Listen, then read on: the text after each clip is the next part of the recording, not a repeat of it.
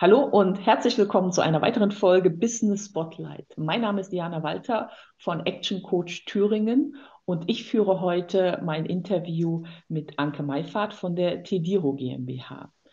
Hallo Frau Meifert, herzlich willkommen und vielen Dank, dass Sie sich die Zeit nehmen für unser kleines Interview. Sehr gerne. Vielen Dank für die Einladung. Frau Meifert, erzählen Sie uns doch mal am Anfang, ähm, was äh, Sie im Unternehmen machen und was Tediro macht. Was heißt Tediro eigentlich? Ja, Tediro steht für Therapie- und Diagnostikroboter und wir haben das abgekürzt Tediro ähm, und das H zwischen T, also für Therapie sozusagen, das haben wir weggelassen, weil das immer zu Fehlern führen kann und dann auch schöner aussieht. Also deswegen Tediro. Tediro. Genau. Und was machen wir bei Tediro? Also in einer Zeit von knappen personellen Ressourcen im Gesundheitswesen entwickeln wir bei Tediro einen autonom navigierenden Therapie- und Diagnostikroboter. Und das ist eine Therapieplattform oder eine Roboterplattform gedacht für verschiedene therapeutische Anwendungen. Und ähm, unser Therapieroboter kann standardisierbare Tätigkeiten, also immer wieder gleicher Ablauf, immer wiederkehrende gleiche Abläufe übernehmen und da Daten erheben und ähm, Therapieempfehlungen an Patienten abgeben. Und unsere erste Anwendung ist das Gangtraining an Unterarmstützen.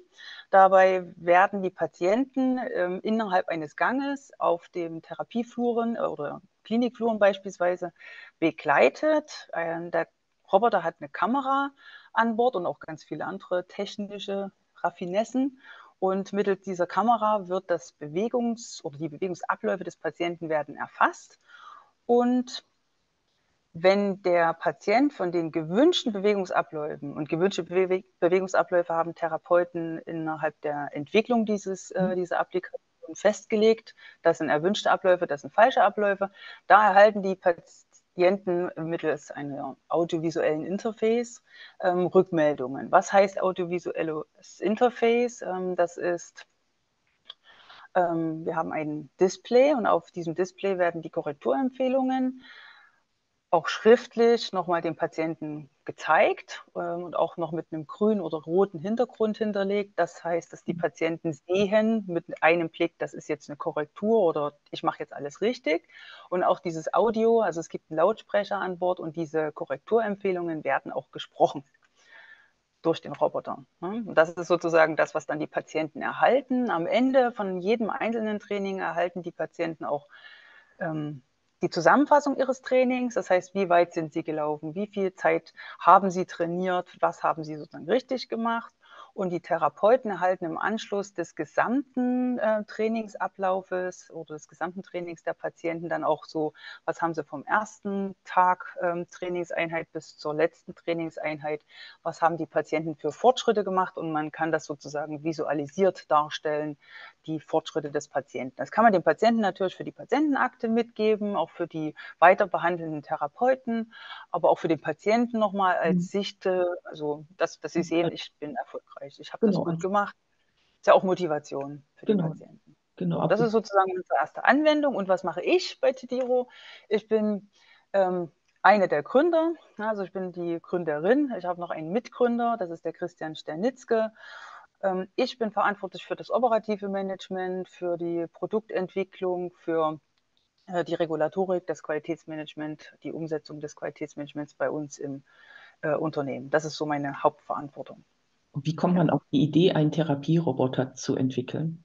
Wenn, äh, wenn ähm, Wissenschaft in die Klinik kommt, also das heißt, die TU Ilmenau kam mit ihrem Projektpartner der Firma Metralabs, das sind ähm, unsere auch jetzigen Partner, die äh, mobil navigierende Roboter für Industrie und Handel entwickeln. Die kamen innerhalb eines Forschungsprojektes mit einer Anfrage auf uns in als ich damals in Eisenberg tätig war, zu und haben gefragt, ähm, was kann man denn auf so einem Roboter alles tun? Was könnten denn, wovon könnten Therapeuten im Bereich der Orthopädie profitieren? Ich war zur richtigen Zeit am richtigen Ort, war im Klinikmanagement, Physiotherapeuten dort waren auch äh, stark ähm, involviert in die physiotherapeutische Tätigkeit und aber mit meinem Hintergrund, ich war ja im Klinikmanagement tätig, ja. ähm, war ich eben studierte Physiotherapeutin, bin es auch immer noch ähm, und äh, habe Projektmanagement im Haus Eisenberg gemacht und dann ja. passte das sozusagen ganz gut zu sagen, mit deinem Hintergrund arbeitest du jetzt an dem Thema,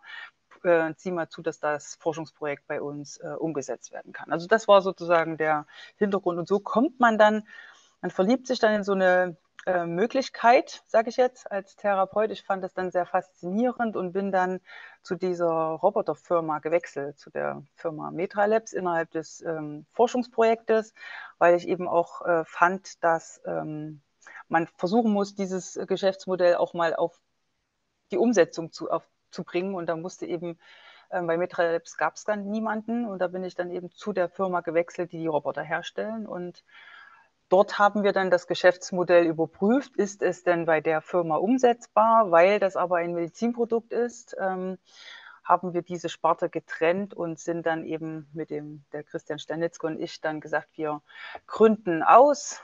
Und ähm, so kam es eigentlich. Und die Idee, ich sage mal, das Patent ist angemeldet mit zehn Erfindern. Also da sind wirklich viele Leute involviert gewesen, die diese Idee sozusagen hatten die Idee der Plattform, der Roboter-Plattform ist allerdings eine Idee, die definitiv bei den Tidiro-Gründern, also Christian und mir liegt, ähm, dass wir sagen, wir machen nicht nur eine Anwendung auf dem Roboter, sondern wir machen den Roboter für viele verschiedene Anwendungen, denn nur das eine Gangtraining an Unterarmstützen ist jetzt nicht, dass man sagt, das ist die Entwicklung so einer teuren Hardware wie dieses mobilen ähm, Navigationsroboters wert. Genau. Und wer ist dann Ihr idealer Kunde? Sind das Physiotherapien oder sind das Krankenhäuser? Oder? Das sind Krankenhäuser oder Rehabilitationseinrichtungen, also Einrichtungen, die längere, größere Klinikflure beispielsweise haben, wo man diesen Roboter eben über einen längeren Zeitraum regelmäßig einsetzen kann. Genau. Also der ist so groß äh, für zu Hause definitiv nicht geeignet.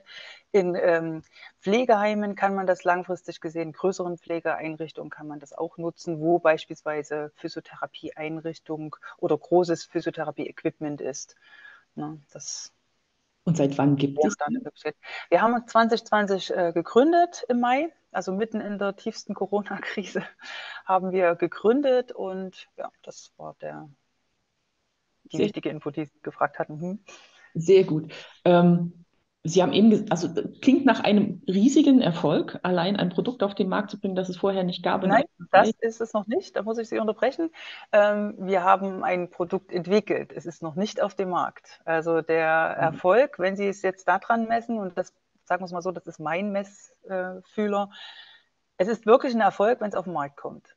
Ja, also das ist, wenn wir das schaffen. Ähm, das ist es noch nicht, weil das ist ein Medizinprodukt, das zugelassen werden muss, ein Medizinprodukt der Klasse 1. Da braucht man bestimmte regulatorische ähm, ja, muss, regulatorische Vorgaben ja. muss man erfüllen und da sind wir gerade dabei. Also wir wollen uns Ende Dezember diese, ja, Ende Dezember wollen wir das Produkt ähm, auf den Markt bringen und die Konformität erklären. Und ab nächstem Jahr ist es ähm, so, dass wir das auf den Markt bringen können und dann sozusagen vertreiben dürfen.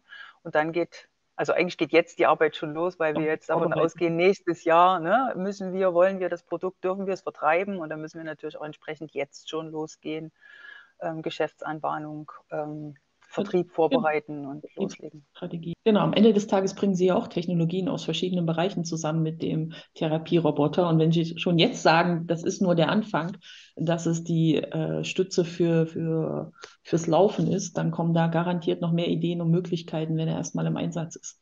Und wenn, die, wenn echte Menschen mit dem echten Roboter üben und lernen. Ich glaube, ja. das ist eine sehr coole Sache, die Sie da vorhaben.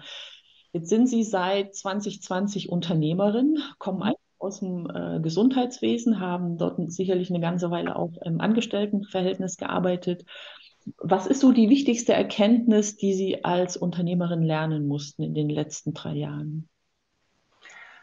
Mm, ja, das ist ganz, ganz wichtig, ist ähm, das, was ich mache, also Technologien zusammenzubringen. Ne? Ich, ich habe meinen Hintergrund, ich habe meinen physiotherapeutischen Hintergrund. Ähm, ich musste lernen, wirklich äh, open-minded immer sagen, das ist mein Blumenstrauß an Möglichkeiten. Ähm, das kann ich bieten und ich kann das nicht allein. Ja? Mhm. Also das Team ist entscheidend und das Team kann mich nur dort unterstützen und richtig unterstützen, wenn es inhaltlich komplett mitgenommen ist. Das heißt, äh, wir müssen für uns immer ganz klar kommunizieren, wo wollen wir hin was ist die Strategie? Und wir müssten uns möglichst dran halten. Ne? Also das ist so die Vorgabe, wir müssen das tun. Und bei Strategiewechseln dann auch wieder einmal gesagt, ist gehört, aber nicht verstanden. Ne? Und dann immer wieder sagen, was hat das für Auswirkungen, was hat das für Konsequenzen, weil Hintergrund ist der, wir haben tatsächlich gerade einen im regulatorischen Bereich kleinen Strategiewechsel hinter uns und ähm, dieser Strategiewechsel erfordert, und das war das, was wir jetzt in den, ne, was wir als Unternehmer lernen mussten, dass es wichtig ist, dass das Team hinter den ganzen Dingen steht, um es verstehen zu können und auch umsetzen zu können. Also das ist der, wichtigste Punkt, weil ansonsten steht man selbst da und setzt es selber um und dafür braucht man sich die Leute nicht zu holen. Genau, dafür braucht man kein Team, wenn man es eh selbst macht. Da haben Sie vollkommen recht. Sie hatten eben schon erwähnt, Sie haben mitten in der Covid-Kruse, äh, Covid-Kruse, Sie haben eben erwähnt, dass Sie mitten in der Covid-Krise gegründet mhm. haben. Ja. Ähm, hat sich dadurch das, äh, der, der, das Geschäftsmodell oder die Vorgehensweise verändert? Also haben Sie da irgendwas anders gemacht? Ich meine, gut, Sie haben keinen Vergleich zu vorher, ja. wenn Sie angefangen haben, aber war, haben Sie es? Es hat eher bestätigt, dass, ähm, dass so ein äh, Therapieansatz, eben so eine Technologie halt tatsächlich gerade in Zeiten wie Covid, das wäre halt genial gewesen, es da schon gehabt zu haben. Na, ne, also das, das war so fast ein bisschen, ähm, wir hätten da offene Türen eingerannt. Ne? Jetzt wenn man weiß, was es bedeutet, ähm, Hardware mitzuentwickeln und äh, auch äh, zulassungsfähig zu machen für, also im medizintechnischen Bereich, regulatorisch gesehen, weiß man, dass es so lange dauert, aber das wusste ich damals nicht. Ne? Also das sind so Sachen, auch Sachen, Erkenntnisse, die ich so gewonnen habe, dass Entwicklung von Produkten halt manchmal auch etwas länger dauern kann, als man ambitioniert plant. Mhm. Das führt mich direkt zur nächsten Frage, weil ähm, unsere Zuhörer interessiert natürlich am meisten die unternehmerischen Probleme, die sie überwunden haben, um einfach daraus zu lernen, so eine Art Best Practice. Und ja. äh, Sie haben eben schon angeführt, Sachen dauern länger, als man eigentlich geplant hat, als eine der Erkenntnisse. Mhm. Sind Ihnen noch andere Erkenntnisse parat, wo Sie sagen, oh, das sollte ich unbedingt unseren Zuhörern kurz zeigen, dass sie in diese Falle nicht reintappen? Ähm, naja, man muss im Bereich der Regulatorik definitiv sich gut informieren oder informieren lassen. Und da ist es wichtig, auch wenn die erfahrenen Leute etwas teurer sind, das ist meine Erkenntnis, die erfahrenen Leute, also wenn man die nicht an Bord hat, bezahlt man sie trotzdem. Weil es dann die Berater sind, die man sich dazu holt oder die Anwälte für Medizinrecht etc. Also gerade bei uns jetzt im medizintechnischen Bereich. Und hier geht es darum, wir haben innerhalb, also ich sage mal seit 2017 wurde die MDR angekündigt. Ähm, diese ganzen regulatorischen Veränderungen innerhalb von Europa wurden ewig angekündigt, aber das alles zu verstehen und ähm, umzusetzen und daraus noch geschickt ein ordentliches Geschäftsmodell ähm, zu finden und natürlich auch ordentlich Umsätze zu generieren. Also das ist halt so diese Wege zu finden, um relativ schnell Umsätze machen zu können, erfordert auch eine andere Denkweise und erfordert auch gute Leute, erfahrene Leute. Also Ach, es geht nicht nur um das Wissen, dass man diese ganzen regulatorischen Dinge kennt, sondern dass man sie so geschickt anwenden kann, dass man ein Startup gut beraten kann oder dass ein Startup gut beraten ist, schnell Umsätze zu generieren oder Umsätze generieren zu können. Also ich, es gibt ja dieses, dieses Sprichwort im Vertrieb, gute Vorbereitung ersetzt Fehler, teure Fehler. Mhm. Also äh, den, den Experten äh, ins Team holen und dann nach draußen gehen, als äh, sich die blutige Nase holen. Das ist äh, so ähnlich, wie Sie es auch gerade beschrieben haben. Was wünschen Sie sich dann so für die nächsten fünf Jahre für Ihr Unternehmen? Wo soll es hingehen? Schnell äh, weitere Applikationen zu entwickeln. Also mein, mein größter Wunsch für die nächsten fünf Jahre ist, die erste Applikation auf den Markt zu bringen und so schnell und so gut weiterzuentwickeln, dass ähm, das auch auf andere ähm, Fachbereiche, nicht nur Orthopädie, Chirurgie, sondern eben auch auf äh, Neurologie ähm, und auch auf geriatrische Patienten anwendbar ist. Das wäre so der Wunsch für die nächsten fünf Jahre, dass wir aus dem Therapieroboter auch einen Diagnostikroboter machen können. Also wirklich uns in die Breite weiterentwickeln. Ja. Das ist der Wunsch für die nächsten fünf Jahre. Das klingt auch wie eine logische Entwicklung fürs Unternehmen. Jetzt ähm, weiß ich, Sie sitzen mit Ihrem Unternehmen in Ilmenau und in Leipzig. Ähm, Beschäftigungssituation, glaube ich, ist an beiden Standorten ganz gut aufgrund der, der Infrastruktur oder sehe ich das falsch? Also wir, Sie haben genügend Fachkräfte in Ihrem Umfeld in Ilmenau, wahrscheinlich durch die, äh, Ja, die Hochschule. die Uni, genau. Mhm. Leipzig wahrscheinlich sowieso aufgrund der Menge der Menschen, die in diesem Großraum wohnen. Dürfte Ja. eigentlich Fachkräftemangel für Sie kein Thema sein?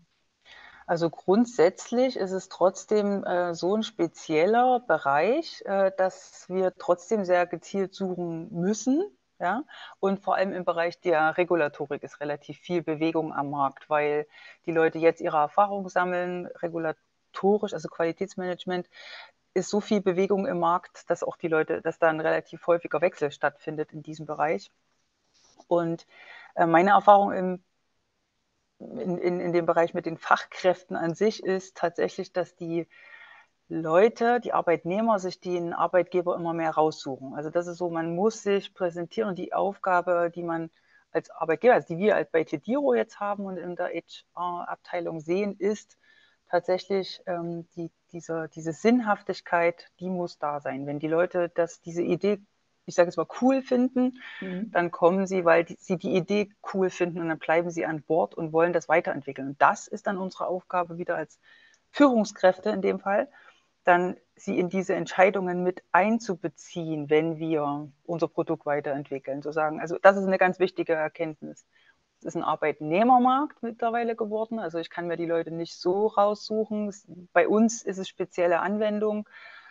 Wir brauchen spezielles, gezieltes Wissen, und das müssen wir dann auch gezielt bespielen und die Leute mitnehmen und in, äh, involvieren, genau, in die Produktentwicklung. Äh, das nimmt meine nächste Frage schon vorweg, nämlich was Sie als Arbeitgeber in Zusammenarbeit mit Ihren Mitarbeitern, Ihrem Team gelernt haben. Und Sie sagen gerade eben, man muss die Leute mitnehmen, sie müssen Sinn, den Sinn erkennen in dem, was das Unternehmen an sich tut.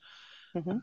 Gibt es dann noch einen anderen Punkt, den Sie sozusagen aus Arbeitgebersicht gelernt haben in, in Ihrem neu gegründeten Unternehmen? Ja, Führungsarbeit, ähm, also ich, ich sage jetzt mal, ich hatte schon viel Erfahrung in dem Bereich, ne, habe auch äh, sehr viel Wissen schon mitgebracht.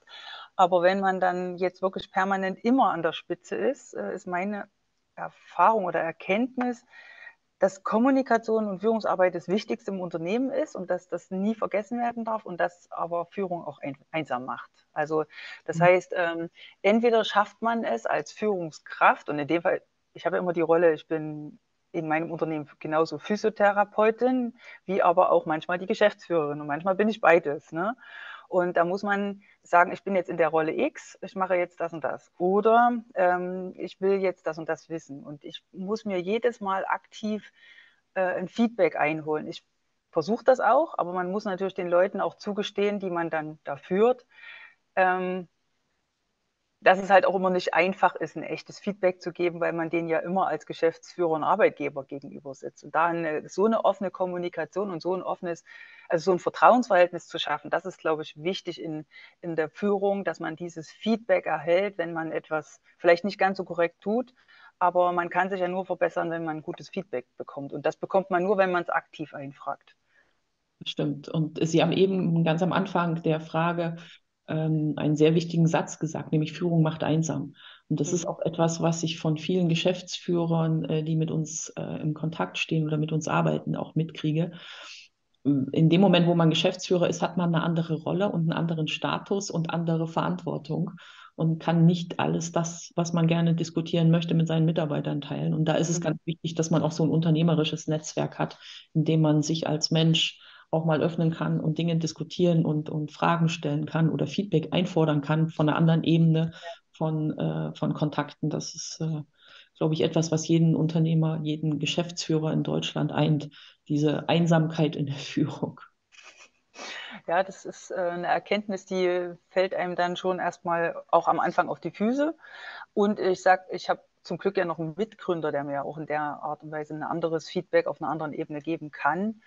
Ähm, genau, aber er kriegt auch nicht alles mit. Das heißt, man muss es ja immer aus der einen Sicht heraus ähm, berichten an den im Unternehmen tätigen anderen Geschäftsführer, mhm. der aber im operativen Bereich teilweise das nicht alles mitbekommt. Und hier müssen wir dann auch wieder, dann kommen wir jetzt tatsächlich auch mal in so eine Gender-Diskussion, jetzt kommen wir wieder in die Frau als Führung.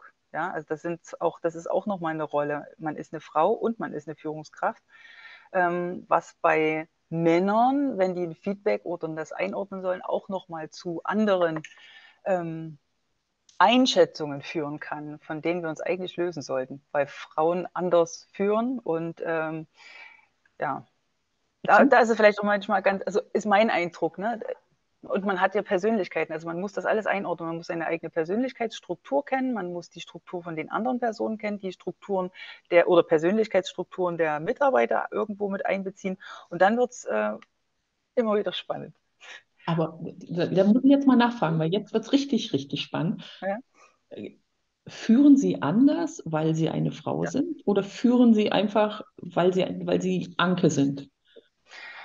Ja, dann sagen wir so, dann bin ich Anke.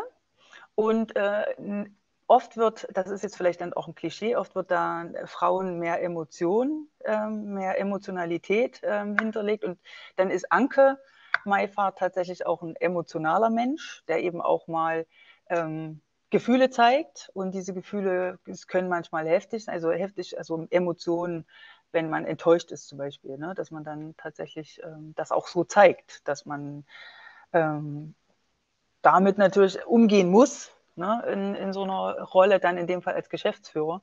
Das sind so Sachen, das äh, gehört da definitiv mit rein in die Führungsarbeit. Aber wichtig, sie sind wichtig und ich finde es gut, dass man Emotionen zeigt ja. und dazu stehen kann. Ne? Dass man eben, ich sage es mal, auch eine ganz andere Emotion ist, ähm, aufgeregt sein bei, bei Pitches. Ne? Wo, ähm, Vorbereitung ähm, bedeutet, für meinen Mitgründer zum Beispiel, er bereitet sich immer sehr gut vor, sehr gewissenhaft. Ich bin auch sehr gewissenhaft, aber eher in dem, ich muss einen Pitch viel, viel mehr üben für mich, ähm, als zum Beispiel mein Mitgründer. Ne? Weil ihm ist es relativ egal, sage ich jetzt mal. Mir ist es eben nicht egal. Ich kann nicht damit umgehen, wenn ich die Leute im Raum nicht mitnehme, wenn ich das, wenn, wenn ich für mich verhaspele. Ne? Also das sind so Sachen, ich glaube, das ist aber vielleicht dann auch die Persönlichkeitsstruktur, die da noch mit, eine Rolle spielt. Und ich glaube, es ist Übung. Und mhm. äh, da muss ich jetzt spontan einen Buchtipp einschieben. Mache ich eigentlich mhm. nicht. Normalerweise ist das jetzt ein ganz normales Interview, aber heute nicht. Okay. Ein Buchtipp, Pitch Anything. Ein, ein äh, amerikanisches Buch, mhm. extremst gut, das erklärt, wie man wirklich Vertriebspitches macht. Mit mhm. einer Struktur, die so nachvollziehbar ist und so genial, kann ich nur empfehlen. Also Pitch Anything, mir fällt der okay. Autor gerade nicht ein. Aber ein sehr geniales Buch lohnt sich als Hörbuch oder als äh, Lesebuch zu lesen. Gut, Schreibe ich mir war, gleich auf. Genau, mhm. das war mein Rat. Aber jetzt kommt die letzte Frage in unserem Interview, ja. nämlich, welchen Rat hätten Sie an Ihr 18-jähriges Ich? Ah, ja, das ist ein wirklich, ich habe, ähm, mein Sohn hat am Freitag letzte Woche, deswegen fällt es mir auch so spontan ein, äh, 18. Geburtstag gehabt. Und deswegen ist mir das so ganz, ganz schnell ganz präsent dass Fehler machen kein Problem ist, sondern dass das Problem ist, diese Fehler zu wiederholen. Also man muss aus diesen Fehlern lernen. Man muss sie analysieren und sagen, es ist kein Problem, dass ein Fehler passiert, sondern das Problem ist, wenn du die Fehler nicht analysiert hast und sie dann wieder machst. Dann ist es doof. Ansonsten, weil ich habe es wirklich deswegen so präsent, weil ich das ja gerade erst mit meinem Sohn so besprochen hatte, ähm, meine Eltern haben mir das immer mitgegeben. Du musst lebenslang lernen, du musst an dich selbst glauben, sei offen gegenüber Veränderungen. Also das habe ich von meinen Eltern wirklich alles mitbekommen. Aber mir hat keiner gesagt, dass Fehler nicht schlimm sind. Für mich war das wirklich in meinem ganzen Berufsleben, du musst gut sein, du darfst dir keine Fehler erlauben. Ne? Ich, hab, ich kenne es ja noch, dass es einen Arbeitgebermarkt gibt ne? und man musste immer perfekt sein. Und eigentlich ist es ja, finde ich, gerade als Physiotherapeut, wenn man am Anfang im Beruf steht, man macht Fehler. Ja. Ne? Also man kann ja nicht alles wissen. Ne? Und aber auch in dem Praktika, dafür hat man sie ja, dafür gab es ja Mentoren, die einem gesagt haben, das ist falsch. Und selbst das war damals für mich eine völlig unangenehme Situation. Und ich glaube, diese Fehlerkultur kam jetzt erst in der Zeit. Und das muss man aber seinen Kindern auch immer wieder, finde ich, beibringen. Und deswegen ist das für mich der wichtigste Rat an mein 18-jähriges Ich. Fehler machen sind okay. Was wollten Sie werden, als Sie Kind waren? Was ich als Kind, oh Gott. Also ich wollte immer mein eigenes Kaufhaus haben. Habe ich nicht ganz geschafft, aber ich habe zumindest Handelsbetriebslehre studiert. Äh, also ich habe den, ich habe meine Berufswahl gemacht, also ich habe Physiotherapie. Eigentlich wollte ich Zahnärztin werden, so ganz am Anfang, und bin aber über dieses Zahnärztin und was, da bin ich dann dahin gekommen, dass ich, meine Eltern wollten, dass ich Germanistik studiere. Das wollte ich definitiv nicht, oder Journalistik. Und dann habe ich mir selbst Physiotherapeutin ausgesucht. Das war eben kein Studium und ich fand den Beruf, finde ihn immer noch, also ein ganz toller Beruf. Ich habe das dann studiert und habe dann nochmal Management im Gesundheitswesen studiert, weil ich eben in diesem Bereich einordnen wollte. Ich habe dann Masterabschluss im Management im Gesundheitswesen gemacht, einfach um auch in dem Beruf selbst viel, viel breiter aufgestellt zu sein. Also Führungsthemen, Gesundheitsökonomie, überhaupt auch wirtschaftliche Dinge besser einordnen zu können. Ne? Als Physiotherapeut ist man ja doch irgendwann mal, wenn man sich selbstständig macht, auch Unternehmer. Und dann kommt man mit einem altruistischen Denken, was man hat als Physiotherapeut, auf einmal in so ein, man muss auf einmal sich damit beschäftigen, dass man Leute anstellt, dass man dann sein Geschäftsmodell hinterfragt. Und das waren so alles Dinge, äh, in denen, die mich dazu bewegt hatten, meinen Beruf nochmal zu ändern, also meine Ausrichtung nochmal zu ändern und dann nochmal in die Richtung Management zu gehen. Betriebswirtschaftslehre, das hat man ja alles in seiner Ausbildung überhaupt nicht mitbekommen. Und als ich dann das erste Studium gemacht hatte, dieses Bachelor of Science, also diesen ja, mehr wissenschaftlichen Ansatz. Da ging es um dieses reflektierte Praktiker. Da fand ich es damals wirklich auch sehr wichtig, seinen eigenen Berufsstand selbst ähm, verbessern zu können. Ne? Also man kann ja nur besser werden, wenn man die Wissenschaft kennt. Und wir hatten damals in Deutschland nicht die Möglichkeit, dass der Berufsstand akademisiert war. Also dass wir oder in andere Studienzweige gewechselt, um selbst ihre eigenen Tools oder ihre eigene Therapie am Ende wissenschaftlich oder evidenzbasiert sozusagen arbeiten zu können, um das einordnen zu können. Das fand ich damals eigentlich sehr schade und habe gedacht, das muss man ändern. Aber wie gesagt, dann kommen immer mehr äh, Blumensträuße oder Möglichkeiten dazu, was mich dann sehr open-minded gemacht hat und mich dahin geführt hat, wo ich jetzt bin. Heißt das, Sie würden eigentlich alles nochmal genauso ja. machen wie? Ja. Sehr gut. Also, ich würde es nicht nochmal anders, also wirklich, äh, ich würde es nicht nochmal anders machen, weil es ist, wie gesagt, es ist ein schöner Beruf. Ähm, und äh, open-minded zu sein, zu sagen, man kann eben auch mit einem Berufs, also ich sage mal mit einem, mit einer Ausbildung, mit einer bodenständigen Ausbildung und dann lebenslanges Lernen, ähm, gelernt zu haben oder mitgegeben zu bekommen, es ist nicht schlimm. Man kann eine Berufsausbildung machen. In Deutschland und auch in der ganzen Welt hat man die Möglichkeit, immer weiter zu lernen und sich äh, weiterzuentwickeln. Offen zu sein für andere ja, Impulse und die dann mitzunehmen, wieder auch sozusagen sich das Handwerkszeug in diesen Bereichen anzulernen und sie für sich zu nutzen. Das finde ich immer auch sehr wichtig. Frau Meifert, ich muss Ihnen jetzt mal ein Kompliment machen aus vollstem Herzen. Das war eines der inspirierendsten Interviews, die ich je geführt habe.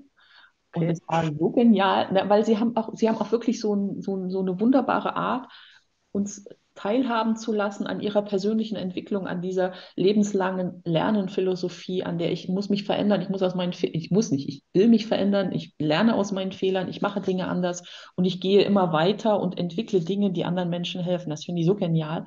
Das fand ich ich fand, Sie sind heute meine Inspirationsperson des Tages. Das freut mich. Vielen Dank. Ja, danke. Das war sehr, sehr schön, dass Sie uns an diesen vielen persönlichen, wertvollen Einblicken haben teilhaben lassen und äh, auch für unsere Zuhörer und Zuschauer die Möglichkeit gegeben haben, Unternehmertum so ein bisschen besser kennenzulernen. Herzlichen Dank, liebe Frau Meifert. Sehr gerne.